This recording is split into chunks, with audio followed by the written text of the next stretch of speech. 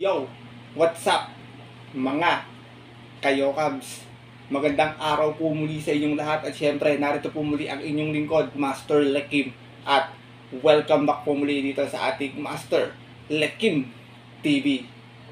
Bago ko po simulan tong ating video ngayong araw mga bayang karista, make sure na dapat nakalike na po tayo, nakasubscribe.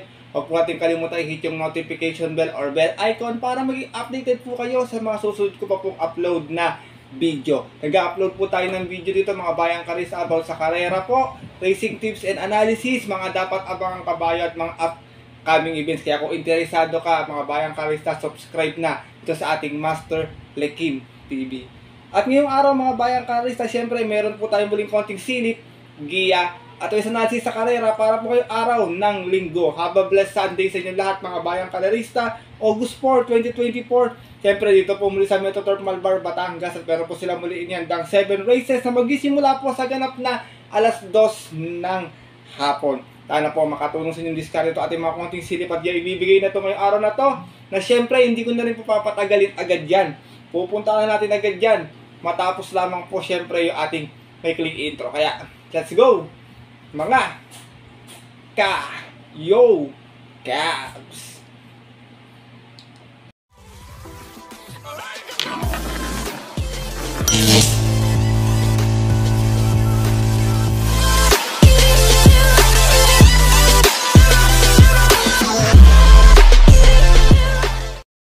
At gaya nga po ng nabanggit ko kayo na sa ating intro, meron tayong pitong kalerang lalargahan ngayong araw ng linggo. Siyempre, tigisang set ulit, take all, pick 6, pick 5, at pick 4. Marami dito mga bayang kalers natin, mahihilig tumaya ng mga exotic bets. At mapasama din siyempre ah, sa mga winners ito. I hope sana this Sunday, eh, makachamba tayo. At siyempre, mapasama rin tayo or kaya eh, makadihado tayo ng yummy dividends kasi alam ko rin, eh, maraming diadista dito.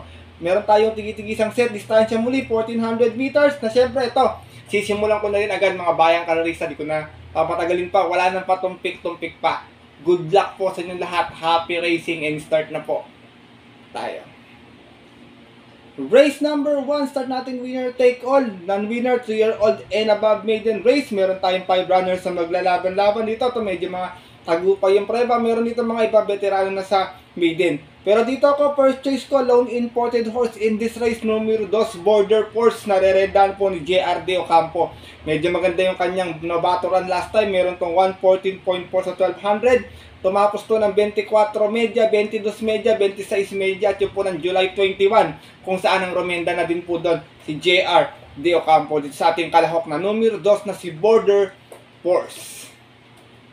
Second choice ko, alam niyo naman, minsan non-winner, di talaga maiwasan yung upset talaga, nakakadihadwan bigla. Second choice ko, numero 3, Raining in Manila. Narerendahan po ni Ison Bautista. Last time, sinubok ko dun sa nakalaban niyang imported horse. Eh, medyo talagang hindi nga lang tumagal to.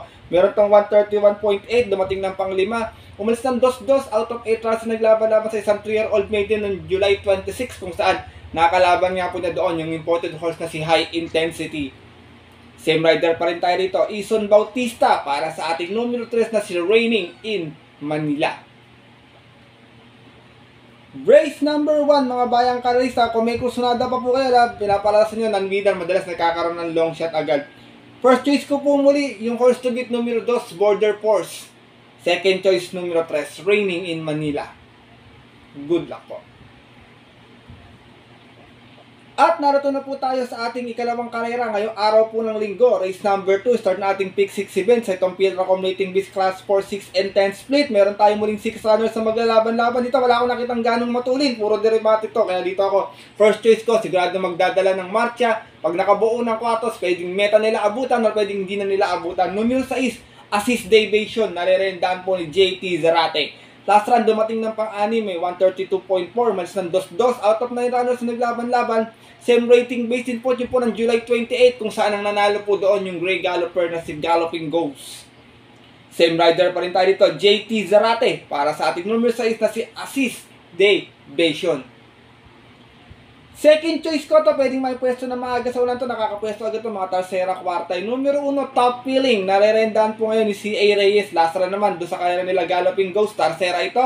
May 131.2, malis ng 3-4, out of 9 rounds naglaban-laban natin po ng July 28 din, kung saan ang romenda naman po sa kanya ng araw na yon ay si Pamboy Ponce. Dito sa ating kalahok na numero 1, si Top Feeling. Race number 2, mga bayang kalarista, tinitingnan ko na lang na may chamba kung sakasakali rito ah, si Color Blast kung magiging palaban. Tsaka tong si Misha yan. Sigurado, pag sigurado ako pag palaban yan, pwedeng chumamba dito yan. First choice ko po muli, gaya ng nabanggit ko, tingin ko Solo Iron, numero 6, Assist Deviation. Second choice na pwedeng tumanglaw lang or umagapa, yung numero 1 si Top Billing. Good luck po. At narito na po tayo sa ating race number 3. Simulan nating peak 5 event. Field accommodating this class 5 5 split placers. Lowest group. Meron tayong anim na kalahok na maglalaban-laban ito mga bayang kalorista. Pas muna ako kay Magnolia Ashley ha. Pero kung kursunada niyo po, wala pong problema. Hindi ko lang po gusto yung tinakbo last time nito. Tingin ko eh, baka pwede rin naman may panalo siya kasi si Uno yung sakay. Pero dito ako, first choice ko, galing sa pahinga, numero 3 Heirloom. Narerendahan po ni Ayi Tanchoco. Meron tong 117.6 na last run sa 1200. Dumating po itong pang 5, umalis ng size sa is. Out of 7 runs na naglaban-laban sa rating base 6 and 10 natin po ng March 22 pa. Doon po sa karerang napanalunan ng kabayong si Glenn Das Magic. From Brian J.C. Tabor, this time ang rerenda ay Tanchoco para sa ating numero 3 na si Here Loom. Second choice ko, numero 4, Eno Teresa Chair. Narerendahan po ni Apoy Asuncion. Itong kabahay ito, nag-aabang lang ng tamang tempo, baka ngayon na. Meron tong 130.2 sa 1400 last time noon. Na Tarsera to, umalis ng 2-1. Out of 6 rounds na naglaban-laban, same rating base din po po ng June 8 naman. Kung saan ang nakinabang po ng karera doon, yung kabayong si Shiri Nagar. From DL Camanyero, this time ang rerenda, Apoy Asuncion para sa ating numero 4 si Eno Teresa Chair. Race number 3, mga bayang kanalista. Tingin ko outsider lang dito si Buenabel. Pero yung rest, puro may panalo. Tingin ko pwede rin naman din, siya, din rin natin siya pwedeng emails kasi medyo tumitimbang-timbang na nito ng mga nakaraang karera. Kaya tingin ko itong race 3, eh, anybody's race kung baga. First choice ko po muli, numero 3, Heirloom. Second choice yung numero 4, si Eno Teresa Chair. Good luck po. At lipat na po tayo sa ating race number 4. Sa naman tong uh, pinaka-mating base class for 6 and 10. Start na ating pick 4. Meron tayong 9 runners sa magalaban-laban pero 8 in betting number lamang. Dito, first choice ko, numero 4, Bright Mind. Narerendahan po kayo ni JB Guerra. Last time, medyo maganda na tinakbo nito. Magaling lang yung nakalaban talaga. Meron tong 130.2 last run. Dumating ng Tarsera, nagdala ng Marcha 1-1. Out of 9 runners na naglaban-laban, same rating base fortune po ng July 26 kung saan nakalaban nila po doon yung wala pang talo ngayong si Lemon Bell. From John Alvin Guse, this time ang rerenda, JB Guerra para sa ating numero 4 si Bright Mind. Second choice ko, numero 6, John Chi. Narerendahan po ni Apprentice GL Sego Jr. Ito naman si John Chi, mayroong 116 plus sa 1200 noon. Natarsera to, umalis ng 5-1. Out of 8 runs na naglaban-laban, same rating base po po ng May 29 naman. Doon po sa karerang napanalunan ng kabayong si Kipi Taki. From Jomer Estorque, this time ang narenda, apprentice GL Shego Jr. Para sa ating numero 6 na si John Chi. Isinasama ko pong third choice mga bayang karista yung ating horse to beat. Makibalita na lang po kayo rito mga bayang karista. Dito, 1 and 1A, Captain Det Det with Lester Jesus and 1A ang Bigote with CB Aldonia. Isang mauna, isang nakaagapay ng remate. Dito, pagpalaban naman to dito, eh malabong matalo kasi mababa sa grupo. Captain Det Det may 117 plus sa 1200. Dumating po ng pang-apat. Umalis ng sa 7 out of 8 hours na naglaban-laban. Same rating based din po yung po ng May 22. Kung saan ang nanalo po doon yung kabayong si Thriller. From Belgium, Mel Galieta, this time ang rerenda muli, Lester Jesus para sa ating numero unong si Captain Det Det. Samantala naman 1A na si Ang Bigote. Last time Tarsera may 131.8, umalis ng 8.5 out of 11 runners na naglaban-laban sa rating basics and then at yun po ng July 27 kung saan ang nanalo po doon last race yung kabayong si Step Bell. From Nelson I. Uy Jr. this time ang rerenda CB Ardonia para sa ating 1A na si Ang Bigote. Race number 4, mga bayang kalarista. First choice ko po muli dito, numero 4, Bright Mind. Second choice, numero 6, John Chi. At third choice, yung yamadong numero 1 na si Captain Det Det at ang Ang Bigote. Good luck po. At narito na tayo sa ating race number 5 ngayong araw ng linggo sa Tompil Accumulating Base Class for 1621 Split. Meron tayo ditong uh, 9 runners na maglalaban-laban pero 8 in betting number lamang bayang karerista. Dito, first choice ko, galing sa panalo last time, numero 4, Karing Melody. Narerendaan po ni CB Ardona. Tico, baka mag-komento si Kabayo. Meron tong 128.6 last time. Nanalo po ito, umalis ng 8-8 out of 12 runners na naglaban-laban. Galing po ito ng 11 to 15. At yun po ng July 20 naman, kung saan ang nanalo, tinalo niya po doon, sorry, yung kabayong si I Tell You. From Beljomel Galieta, this time ang rerenda CB Ardonia para sa ating numero 4 si Karing Melody. Second choice ko, maganda yung post position. Pwede magdala ng marcha kung walang ganong bubuliglig. Baka meta nila abutan. Numero 9, piece of cake. Galing sa panalo to last time with JB Hernandez. Meron to 129.2 last time. Umalis to ng 2-1 out of 10 runners na naglaban-laban. Same rating base, ah, sorry, rating base 11 to 15. Bagong akyat din ng grupo dito. At po ng July 26 naman. Kung saan tinalo niya po doon yung kabayong si Star of the Star of the Future. Same rider pa rin tayo rito, JB Hernandez para sa ating numero 9 si Piece of Cake. Wala pala sa cake dito, sana makadihado. Isinasama ko pong third choice. Ito, bumaba naman ng grupo. Mga bayang karisa, anytime pwedeng kalabitin to. Numero 7, My Jopay. Narerendahan po ni Jordan Guerra. Meron tong 129.4 sa 1400, dumating ng panglabing isa. Umalis ng 14-13 out of 14 runs na naglaban-laban sa rating base 28 and 33. Dalawang grupo na yung binaba nito. At yun po ng June 26 kung saan ang nanalo po doon last race yung kabayong si Sky Story.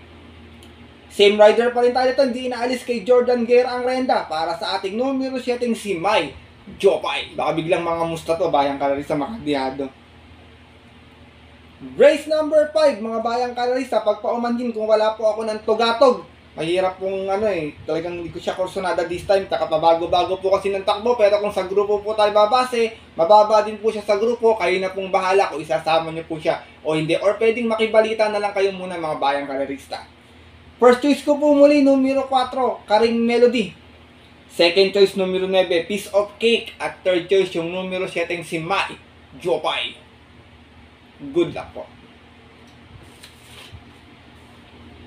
At di pala tayo dito sa ating penultimate race ngayong araw ng linggo, ang ating race number 6. Sa itong Pilracom rating base class 5, 11 to 15 split, meron tayong 9 runners na maglalaban-laban. Dito first choice ko, numero 2, Malibo Princess, narerendahan po ni Pabs M. Cabalejo. Tumakbo to ng stake race natin, pero ko di naman gano'n na puwersa.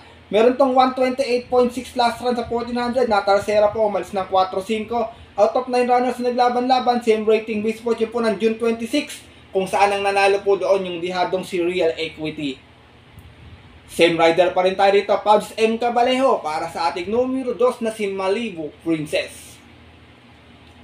Second choice ko, numero 4, Star of the Future. Narerendahan po ni JB Guerra. Ito naman, last time si Gunda may 129.4. Umalis ng 4-4 out of 10 runs na naglaban-laban. Same rating based din po po ng July 26 kung saan ang nanalo po doon yung nasa taas na karerang si Piece of Cake. Same rider pa rin tayo dito, JB Guerra para sa ating numero 4 si Star of the Future. E sinasama kong third choice na maaaring horse to beat, yung ating numero 1 si Tour of Choice na rerendahan po ni JT Zarate. Siya yung may edad dito sa grupo na to, dalawa sila ni Hiroshima. Pero medyo nagpapanalo pa to ng mga nakaraan, tsaka gamay ni JT sa ito. Meron naman tong 113.8 sa 1200 noon, nanalo po sa 1200, umalis ng 2-2 out of 8 rounds na naglaban-laban. Sa rating base 1621 at yun po ng May 18, kung saan tinalo niya po doon yung kabayong si Take a Chance.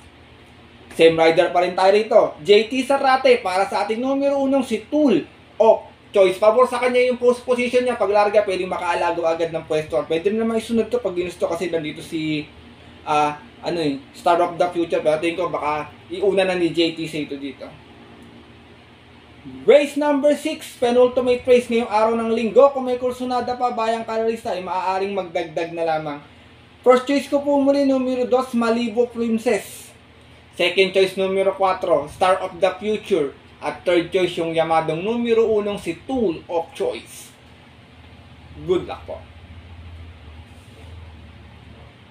At narito na po tayo sa ating huling karera ngayong araw po ng linggo, race number 7 para ating at ating mga paboritong exotic bets take all, pick 6, pick 5 at pick 4 at sa itong pinaka mating base class 4, 22 and 27 meron tayong 12 runners na maglalaban-laban. Dito, sosolohin ko na lang po, one for the day ko, ngayong araw po ng linggo, itong imported horse na numero 12 si Heart of a Champion, narerendan po ni Pabs M. Cabalejo. Tingin ko medyo nabuwersa lang last time to, biglang nabigla ng laban, at si medyo may kagalingan din yung mga nakalaban na doon, gaya ni Red Queen, tsaka ni Front Runner. Pero this time, para sa akin, opinion ko lang ha, para po sa akin ni opinion, eh, kaya niya tong grupo na to, kaya sinosolo ko po siya. Last run may 127.2, dumating po itong pang-apat, umalis ng 5-5 out of 11 runs na naglaban-laban at bagong baba po ito dito, galing ito ng 28-33 at yun po ng July 21 kung saan ang nanalo nga po doon. Yung kapwa niya imported na si Front Runner. Alam niyo naman si Front Runner, nalalaban na rin kina Sky Storia kaya talaga tingin ko nagbigla ng laban to. Same rider pa rin po tayo rito. Pabs M. Cabalejo para sa ating horse to beat na numero 12 si Heart of a Champion. Last and final race mga bayang kalorista, hindi maiwasan yung upset minsan. Kaya kung may kursunada pa po kayong pang suporta or pang protection, maaari na lamang kayong magdagdag kasi paratingan po ito. Pwede talagang magkaroon ng uh, upset kung kumbaga. Pero ako po, para sa akin, sosolohin ko na po, one for the day ko sa bayang kalorista, yung numero 12 si Heart of a Champion. Good luck po. At yun po mga bayang kalorista at ang ating mga kayo Cubs ay natapos na ating video na ating konting silip at giya ngayong araw po ng linggo na sana po makatulong po sa inyong diskarte at pananaya. Sana makachamba tayo or mapasama tayo sa winners sa mga pabulat yung mga tinatayang exotic bets. Pero pinapaalala ko po sa inyo, bayang karisa na maaari nyo itong sundin kung kursunado nyo po. Kung hindi po, wala pong problema, pwedeng skip nyo na lamang. Kasi po, Sariling aral ko lamang po ito, kuro-kuro at opinion po sa karera. Pagdating po ng tayaan sa takilya, siyempre mas mananaig po yung sarili niyo pong napupusuan at kursunada and always po mga bayang karista at ating mga kayokabs. Kayo pa rin po siyempre yung masusunod. Good luck po muli sa inyong lahat and happy racing. Muli ako po yung nagpapasalamat. Hindi ako magsasawang magpasalamat sa inyong walang sawang pagtutok suporta at tiwala palagi sa ating YouTube channel. Bagamat hindi man natatapat yung ating mga giya nito mga nagdaang araw, eh sana po sa mga susunod na parating pa eh makachamba tayo ng dihado. Dahil alam ko maraming diyadista dito kagaya ko mga bayang karis natin. At syempre magbigyan ko rin kayo ng mga magagandang giya na mamapasama tayo syempre sa winners ng mga tinataya natin mga paboritong bet. Kaya muli mga bayang karis at ating mga kayokabs, maraming maraming salamat po sa inyong suporta. At yun po, hanggang dito na lamang po tayo muli. Bawi na lang po muli ako ng shoutout at greeting sa susunod kong upload na video. Ito po muli ang inyong lingkod, Master Lekim, na always po nagsasabi sa inyo at nagpapaalala na ang karera po ah, dapat po libangan lamang kung may sobra tayo kasi talaga ito yung tsambahan lang at talagang tapat-tapat lang. Minsan swerte, minsan malas, pero pag pinagbigyan po tayo syempre ng nasa taas, huwag natin kalimutan magpasalamat sa Kanya tumulong sa ating kapwa. Ay sa simpleng pamamaraan, lamang. Ika nga, share your blessings po. Good luck po muli and have a blessed Sunday racing. Kung sa mga maaga pong pupunta ng OTVs, huwag natin kalimutan magsimba muna mga bayang karisa bago tayo pumasyal sa mga paborito nating mga tinatayan o tinatambayang off-track betting station. Muli, pinapaalala ko sa inyo na stay safe everyone. God bless, bayang kalerista. Lalong-lalo na po sa mga solid ditong diadista nating mga ka yo Cavs. Alright,